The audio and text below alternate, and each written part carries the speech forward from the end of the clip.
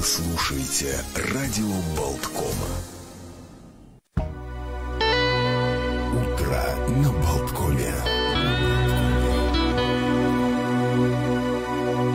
Вы не поверите, но мы все еще тут. Олег Пек, Александр Шунин. На страже вашего хорошего настроения утро на Болткоме. Не в том смысле, что мы его не пропустим к вам. Ну как, ну, чтобы было, зашло и ни- никуда не уходило. И мы вот за этим столом практически соображаем на троих, даже на четверых, если считать и нашего звукорежиссера. Евгения Копейна. Э, К нам присоединяется автор-исполнитель песен Родион Гордин. Здравствуйте. Всем привет, доброе, Доброе утро. Очень рад быть снова с вами, пообщаться с умными людьми. Нас, нас обозвали умными. Да, Ну, хотелось бы хоть раз еще красивыми. Я в этот раз готовился. В следующий раз я назову вас и красивыми, да.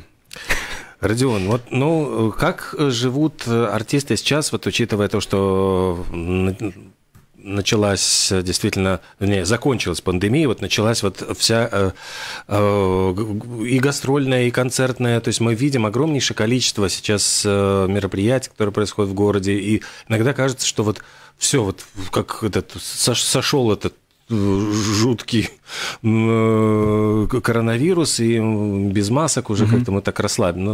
Ну, А живут на самом деле по-разному. Я как бы сам не считаю себя, я больше занимаюсь продакшеном, Мгм. то есть я больше как продюсер, который находится за кадром проектов. Но поскольку вот сегодня тоже я пришел презентовать и свою песню, то частично я иногда и появляюсь как в качестве артиста. Но сами артисты, в принципе, с которыми я очень э, плотно общаюсь и много, они живут по-разному, у всех разные. У кого-то как раз-таки сейчас а, началась жизнь по-новому, у кого-то она наоборот, то есть очень зависит от того, на какой рынок артист работает, и сейчас э, в силу тех ситуаций, которые происходят, скажем, кому-то пришлось перестроиться, кому-то пришлось э, думать, то есть, ну, по-разному, очень разные эмоции на, на этот счет у всех. Ну, смотрите, практически два, даже три больших рынка, это Украина, Белоруссия и Мгм. Россия. Ну, в силу вот этих обстоятельств сейчас, то, что идет война, э, практически Мгм. закрыты для гастролей. Ну, понятно, что А, тяжело. Да, локальным артистам как раз-таки сейчас, э, мне кажется, более выигрышной ситуации находятся более маленькие артисты вот, на локальных рынках, потому что, в принципе, э, здесь э, даже в рамках Латвии можно что-то делать, можно работать, скажем, стриминг, он все равно работает, и тут уже вопрос, вопрос аудитории и всего остального. Другой вопрос, что сейчас не самое лучшее время, может быть, выпускать какие-то песни, да, и все-таки артисты, они на лето планировали, я думаю, в основном веселые песни, которые сейчас тоже не очень к месту, поэтому мы видим, что и в России сейчас выходит очень мало ну, новой музыки, и, в принципе, а, про Украину я ничего не говорю, но на самом деле э, очень интересно, как оно все повернется потом, потому что, в принципе, самый главный, как мне кажется, поставщик именно хитовой русской музыки была именно Украина, украинские авторы. Мгм. И вот как оно сейчас развернется после этих всех событий, я не знаю. Как-то отразится происходящее вокруг на вашем проекте? Насколько я понимаю, вы только-только начали создавать э, свой лейбл. Да, а, я не знаю. Мне на самом деле, э, я вижу так, что делай дело, а потом уже смотри, что происходит, и проблему решать будем по мере поступления. Но я вижу, что, конечно, отразится. Оно отразится не в том, может быть, э, что все, мы не будем этим заниматься, а, скажем, Просто мы будем искать какие-то новые пути, скажем, развития. И если у нас был до этого один фокус, то сейчас он просто другой. То есть, но в то же время эта вся ситуация, она немножко повернула, во-первых, заставила думать иначе, и второй момент, что если до этого мы планировали больше работать, скажем, с местными артистами латвийскими и работать с ними на экспорт, э, там на русский рынок, ну, имеется в виду на русский рынок э, не только Россия, но и везде, где есть русскоговорящие люди, то сейчас у нас есть девочка из Украины, которая вот э, бежала в Ригу, с которой мы сейчас работаем и делаем песни на украинском языке, то есть я, в принципе, никогда не думал, что я буду работать с музыкой на украинском языке, а вот сейчас, ну, к сожалению, из-за этой ситуации а, такая возможность появилась, и, в принципе, то есть это немножко развернуло, скажем, проект на такой, ну, может быть, даже на другие масштабы, я не знаю. Ну и как раз на украинском языке записанная песня, которая, премьера которой состоится завтра, Нет, а завтра а это, это русская песня. А. а. Сегодня она, сегодня будет у вас это моя, мой сингл, который а, я написал где-то еще до всех этих событий, то есть оно как-то все нагнеталось, она тоже получилась лирическая песня. А украинская девочка, это будет ее сольный проект, над которым я просто работаю как продюсер, и она выйдет, наверное, летом.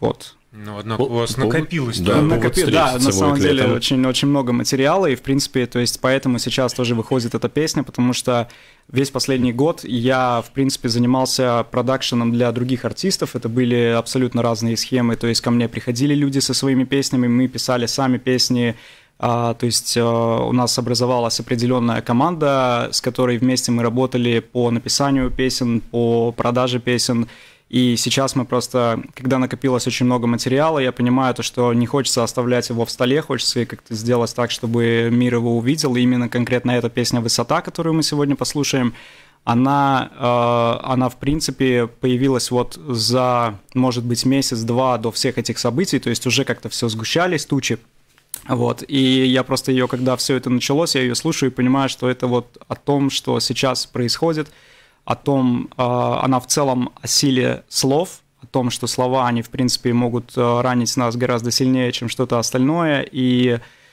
и я ее слушал и понимал, что ее нужно сейчас как-то выпустить. И поскольку у меня не было идей, а, кому ее предложить, то я просто подумал, что самый быстрый и простой способ это будет выпустить просто ее от себя.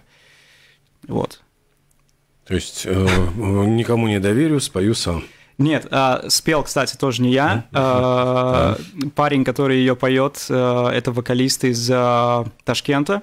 Я его нашел. У меня было так, что мне просто у меня было стоял вопрос, что мне нужно сделать песню.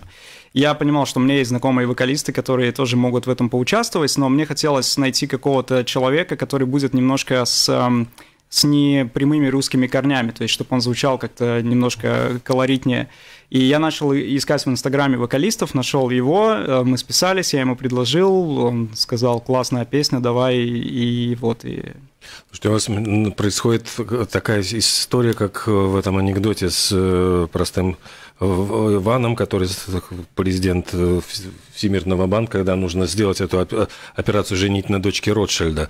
То есть можно обратиться к Полу Маккартни и сказать, что так и так, вот есть песня, не хотите ли сыграть на гитаре? Да что в этом? Ну, будет зато Стинг на вокале. А, ну тогда да, потом Стингу позвонить и сказать, ну, хотите там, ну, будет зато играть на гитаре сам Пол Маккартни. Ну, а, ну тогда На да. самом деле так оно и происходит. То есть, в принципе, все эти какие-то предложения песен или сотрудничество, это все и начинается с простого смс-сообщения, там, в Инстаграме или еще где-то, и просто иногда эти звезды видят эти сообщения, они отвечают на них. Ну, то есть, конечно, а, чаще, если, скажем, заниматься этим профессионально, когда мы предлагаем там, э, это так называемый питчинг песен, когда мы пишем песни для определенных артистов, и которых мы не знаем, но которым мы бы хотели предложить эту песню, Э, так все и начинается. Мы начинаем искать либо теплые контакты, либо пишем напрямую, просто если нет никаких контактов, и, и многие отвечают. Иногда это не подходит, и поэтому ничего не срастается, но в плане это действительно так и происходит.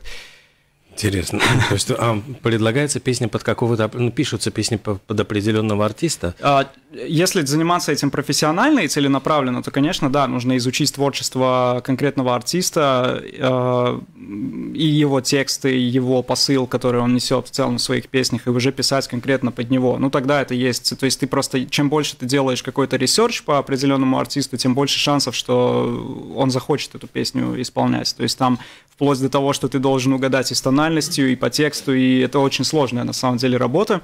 Вот, но просто получается, что чем, чем более универсальнее ты можешь придумать какую-то песню, тем больше потом возможностей ты можешь предложить, ну, поскольку артисты тоже между собой похожи, да, то, соответственно, если песня подходит, условно говоря, Зиверт, то она может подойти и кому-то, там, Мари Краймбрери или еще кто-то, кто находится в ее категории. Вот, ну, по-разному. Какие интересные тут. А нет такого опасения, что засылаешь кому-то а, пич песни, а, отвергают, нет, там не мой стиль, еще что-то, а потом слышишь по радио что-то знакомое и понимаешь, идею-то все-таки творчески обработали, не да, сказать грубее. Нет, я думаю, что я не вижу в этом большой проблемы, потому что в целом, если ты учишься, ну, приходишь к тому, что ты способен сгенерировать одну идею, то ты сгенерируешь и 10 других идей. И, скажем, сами идеи, как мне мне кажется, они вообще здесь в данном случае особо ничего не стоят, потому что а, это такой момент, что вот она появилась и появилась. Но реализация всего этого проекта, то есть, скажем, придумать мелодию, то есть там не все заканчивается просто на какой-то идее. Я понимаю, да, о чем вы говорите, но а, чаще всего, во-первых, и артисты сами не хотят этим заниматься, и... но бывают такие случаи, да. Но в целом я не думаю, что что-то ты очень много ну, потеряешь от того, что кто-то позаимствует твою идею. И все-таки очень часто бывает так, что тебе приходит мысль для хука песни, именно ну, концепт, и ты вдруг ты понимаешь, что вышли еще там три песни, ты никому ее не показывал, но выходят три песни с ровно таким же, такой же идеей. То есть сейчас это вот самый большой последний пример, это у меня была идея про бывших, а, ну, у всех есть бывшие и э, буквально через полгода выходят три песни про, э, про эту тему. Ну, то есть, я не знаю, я сам ее не дописал, я ее никому не показывал, и вот оно просто. То есть люди, они все-таки есть какая-то определенная связь у них. А, а вот что э, действительно вот самое ценное, что делает песню вот узнаваемой, потому что э, раньше мы все прекрасно знаем, что песни были достаточно простые, то есть mm-hmm. там собирались, условно говоря, там Битлз там бренчали на гитарах, и вот два аккорда совпали, mm-hmm. быстро набрасывался текст, и там мелодии очень простые были. Сейчас э, мы слышим композиции, в которых звучит очень много инструментов, очень много э, ну, каких-то переходов, mm-hmm. хуков. Вот это то, что изменилось. Вот что делает песню как, как бы такой узнаваемой, mm-hmm. яркой, в чем изюминка? Изюминка так и остается, в принципе, в мелодии и э, э, в, в смысле. То есть, скажем, все хиты, даже сегодня, если мы берем какие-то большие э, песни, которые становятся действительно большими хитами, у них у всех очень классный текст. То есть, э, и если э, вы возьмете любой большой хит и сыграете вокальную мелодию на пианино, то вы услышите, что эта мелодия очень красиво звучит сама по себе, даже без текста. И это и отличает все большие хиты. То есть, в принципе, мелодия и смысл остаются все равно каким-то э, фундаментом для песни, хорошей песни, а уже просто вопрос того, э, вопрос времени, это уже э, меняет просто ее упаковку этой песни. То есть, в принципе, все, что мы слышим, куча инструментов, каких-то эффектов, это все всего лишь э, обертка песни, которая вот сейчас модна. Завтра она не будет модной, да, и, скажем, э, просто, ну, ну, как бы проблема, которую я сейчас вижу в песнях, то, что сейчас вот очень все начали, очень модно стало придумывать вот эти хуки, а, думать о том, что вот нужно какую-то фразу сделать, которая вот должна вот как-то удивить всех, да, там. А, и все песни сейчас как-то, по большому счету, такой конкурс креатива просто, кто, кто прыгнет выше гол- чьей головы, да. И сейчас оно все превратилось, если поначалу это было интересно, потому что появлялись какие-то интересные песни, там «Малиновый свет», еще что-то, да, то э, Сейчас это все стало такое, что огромный поток каких-то непонятных идей на тебя, креатива летит, а песни где? То есть и сейчас вроде как чувствуется опять, что идет возвращение к тому, что все-таки песня, она должна быть честная, она прилипчивая, быть... наверное, вот. Ну, прилипчивая, это, конечно, да, это, это делает мелодия. То есть это, в принципе, главное, то, что, но без, а, то есть может быть очень классная мелодия, но плохой текст, и тогда она не станет хитом. И очень много, скажем, то, что я вижу, то есть я, в принципе, эту тему сонграйтинга начи... ну, изучаю, наверное, так основательно последний год-полтора, и, скажем, я сейчас, я, во-первых, и свои старые песни все слушаю сейчас и понимаю, в чем была проблема, и я вижу сейчас, что просто много людей талантливых, которые придумывают классные мелодии, но вот по тексту они слабовато пишут, и поэтому эти песни, они не становятся. И, у всех вопрос, а почему вот я, я пишу классную музыку, а она не становится популярной? А Есть что должно быть сначала, вот текст или, или мелодия? А очень по-разному. Я всегда придумываю, э, я всегда начинаю вообще с музыки. То есть у меня появляется какая-то последовательность аккордов, на которую я начинаю, это так называемый рыбий язык, когда ты напеваешь какую-то мелодию, там... Scramble Да, то есть вылезают какие-то в этот момент э, слова, э, и ты уже, в принципе, можешь зацепиться, у тебя может вылезти прям действительно... Это такое работа Вселенной и мозга. То а есть... А число мелодий, оно конечное или нет? Ведь нот всего семь. Настанет ли тот момент, когда мы переиграем все возможные А мне кажется, уже переиграли. Раймонд Паулс уже давно сказал, что все мелодии сыграны и что, в принципе, вся музыка уже написана. Она же как происходит? А, вся музыка пишется а, наш мозг, он в течение жизни собирает разную информацию, мы слушаем одну музыку, вторую музыку, и все, что мы потом выдаем из себя, это просто случайная комбинация всего того, что мы слышали за всю свою жизнь. И... Из чего мы делаем вывод, что нужно аккуратно относиться к тому, к тому что, что мы слушаем в свой мозг.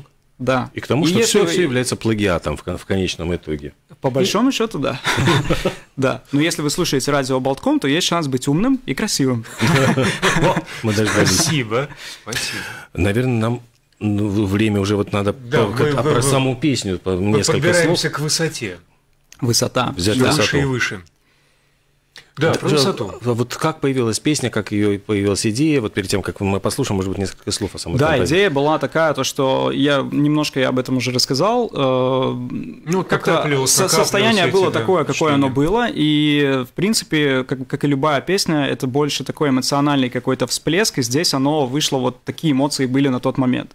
А, она появилась, и как-то вот мне, я просто думаю, что сейчас э, за последнее время очень, ну, практически каждый человек э, испытал на себе силу слов, то, что слова сейчас, в принципе, такие стали, ну, иметь другой какой-то вес, они разрушают семьи, разрушают отношения, да, то есть, и, в принципе, это песня о том, что вот, что будьте осторожны с этим. Храните то, что имеете. Храни Господь. Прекрасный вывод. Перейдем к прослушиванию. Да? Спасибо огромное, Родион. Спасибо, Спасибо вам, да. Радио Болткома.